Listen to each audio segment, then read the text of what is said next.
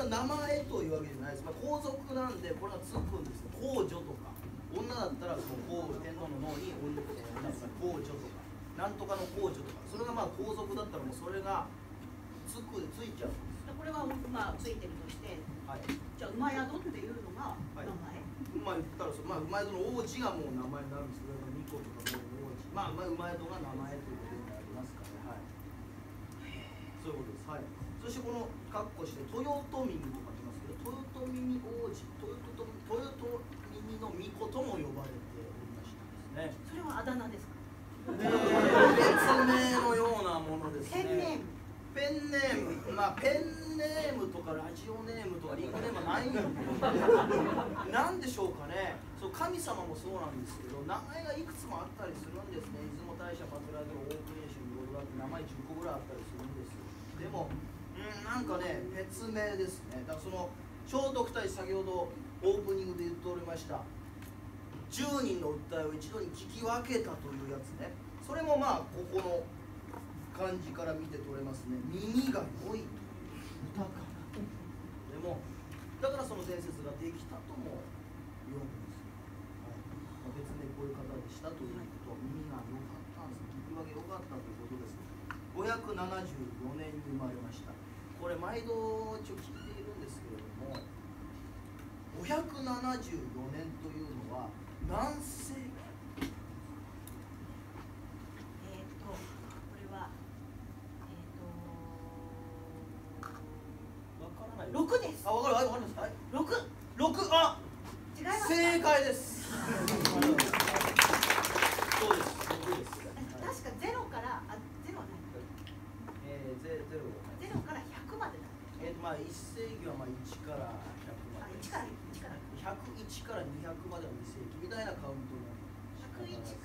200まで。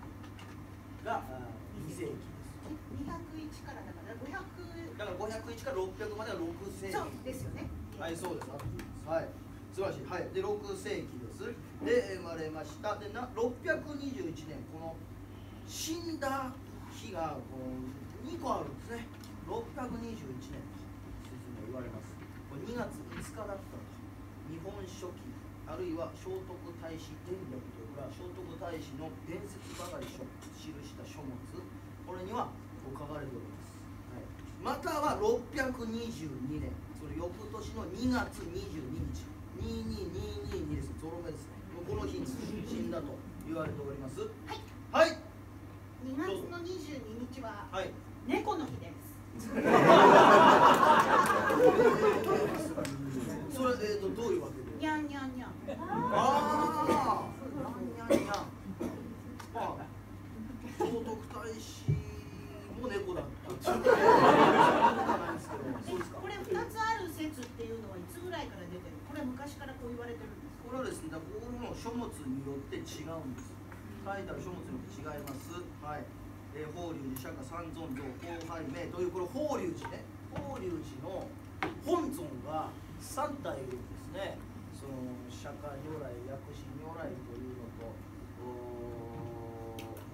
阿弥陀如来、その三尊いるんですね。この三尊の中のこの広拝と言いますけど、この仏像で後ろにこう光り輝いてる感じです。オーラですね。オーラ。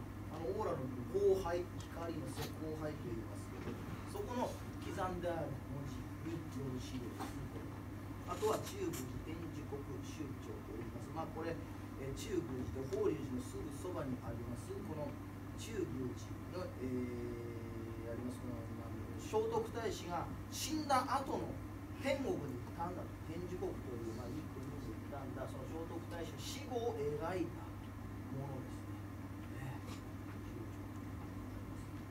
ね資料によって死亡説が2つあります。お父さんが第31代天皇であります陽明天皇と言います。でお母さんは穴穂部の橋人公主もう皇族同士しか結婚できない時代ですから近親相関しなければ科学的に言うとなんかダメな子生まれていきますよ。近い者同士ででもすごくいい場合もあるよくよく聞いた場合もあるんですかよ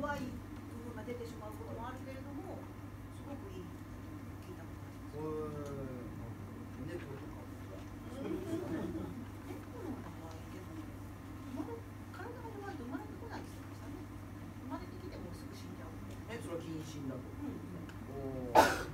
ん。ほっといたらするんですかね。しますしああますそういうことですか。兄弟っていう認識がないからおで猫の場合はーはいあの盛りがついてその声がすごい声になりますでしょやるやんなくていいお願いしますあのあの盛りの声ってこういう可愛い声で鳴くのはオスなんですよでこの声で今度メスあーいやーそれ聞きます声変わりするんですメスがで盛りがついてくるとメスが声変わりしてこういう鳴り声になるんですけどでその声に呼ばれ声に呼ばれてるのではなくてその盛りがついたことでメスがもうそういう匂いを発するんですでその匂いを嗅いだことでもオスはスイッチが入っちゃうブニャーンって言いながら襲う。襲っていくそうそうそう。すごいその匂いを嗅いだと途端にう。ち、えーとね、兄弟の猫4匹飼ってたもう。女の子に盛りが来たらもう。男どもが22だったんだけど男女子女子に男子にだったんだけど1匹の女の子に盛りが来たらものすごかった落ち着いてない走り回っても探し回ってもうすごい動物の世界ですよ男を探し女を探しああじゃあそうそう。はい。猫の謎になって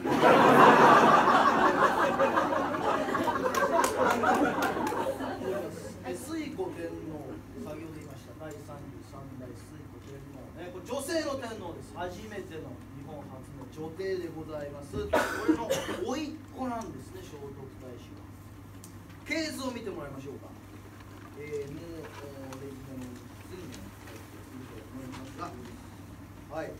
えー、聖徳太子が真ん中にありますね。これのお父さん31丸31陽明天皇があります。これのねおばさんになりますね。だから水古天皇ははい。なんで水古天皇が天皇になったの？これがね難しいところなんですよ。本来であれば聖徳太子がなっていいところなんですけれど、まあ、まず聖徳太子はまだ小さかったのでその前に32があります蘇州天皇蘇州天皇がなりましたはい、で蘇春天皇は殺されたんですね。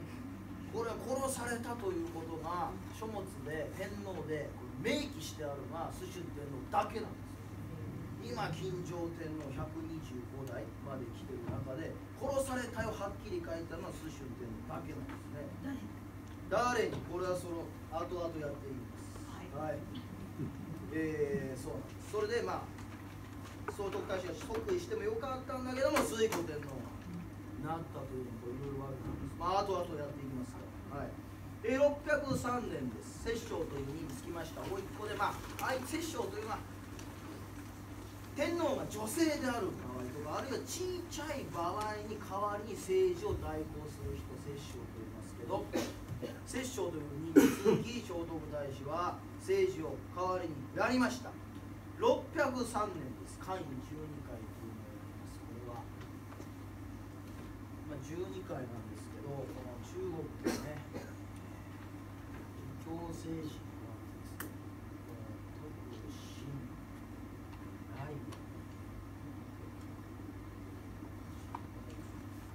えー、ちょっと忘れましたねあ、特進ですね。特進、特進か、特進大進基地ですね。この、この六六見えます？字が汚いです。字が汚いの。小川先生ノートしといた方がいいですかしなくてもいいですけど。はい。書きたくてこの特進大進基地で、これはまあ上から偉い順になってるんですけど、これに大小が加わって、六角2で12回、この12回という位を設けたんですね。そのパッと見てわかるように、この一番上の徳の台の人は、大徳の人は、もう紫色、もう着物ら、着物から、分けてるんですね。階級を。で、これが、もう今までは家柄にとらわれてたのが、能力によって人材を登用するシステム。これ書かない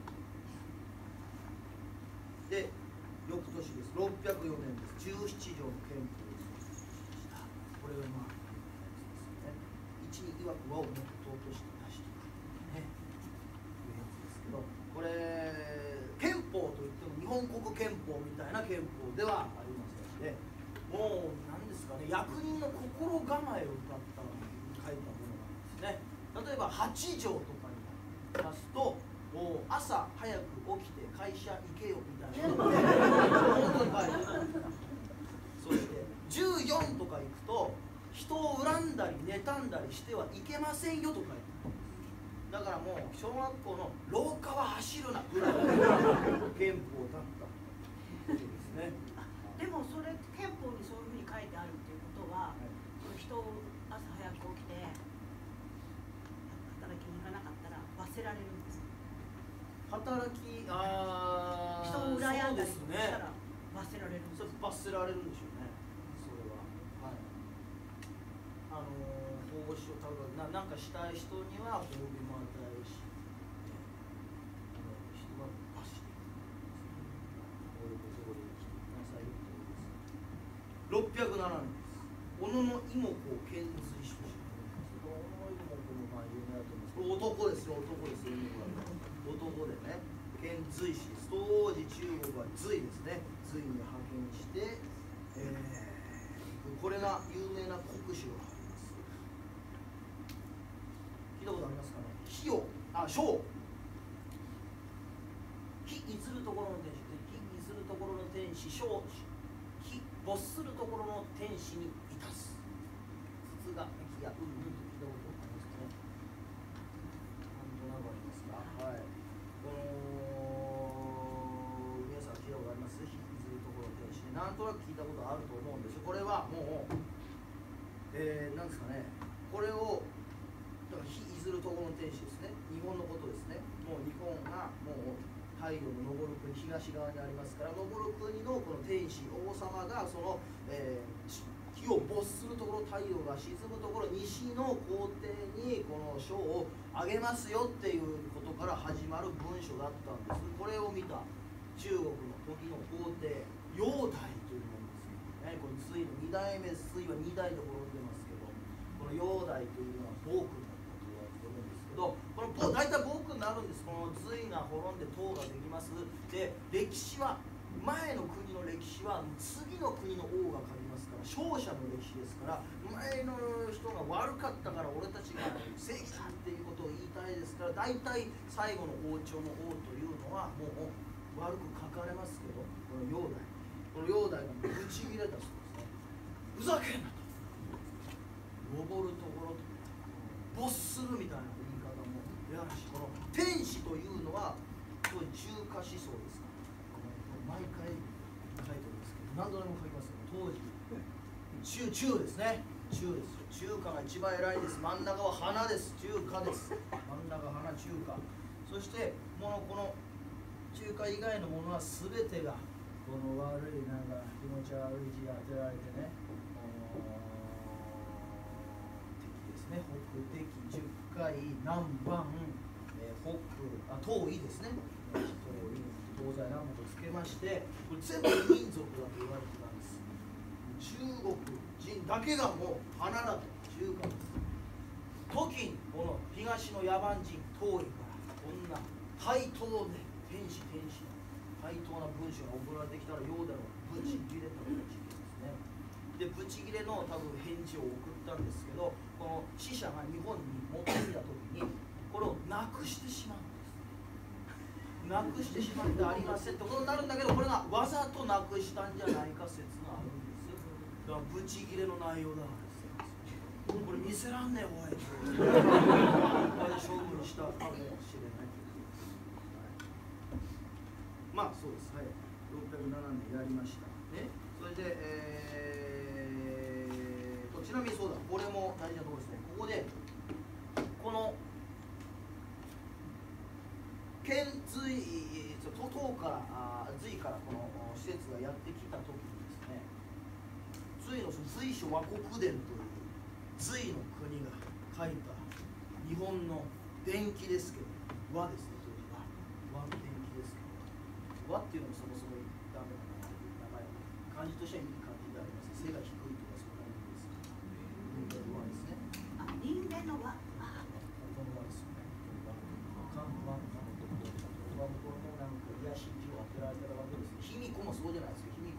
って書いてるあれも中国の書物が書いてるから癒し癒しが加てるんですけどまです。ねこの随所和国伝に、えー、よりますとこの時あった皇帝日本の天皇というのが雨の大使彦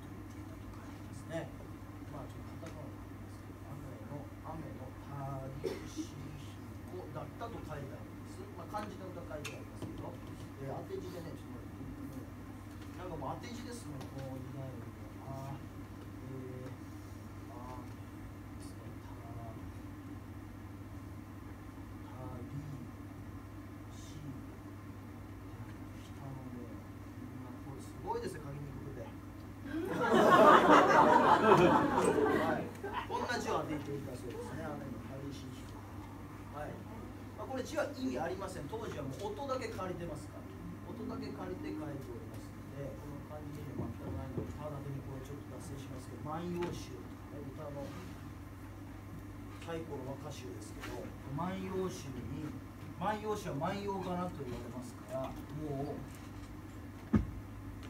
音だけ借りて書いてるんです。よ意味は何ですか漢字の意味知らず後に訓読みとかできて日本大和風になってるんですけどその音だけ借りてる万葉かなって言うんですけどその中になんかこの恋があるんです恋恋ですねこの恋があるんですこの恋を万葉集でこうやってね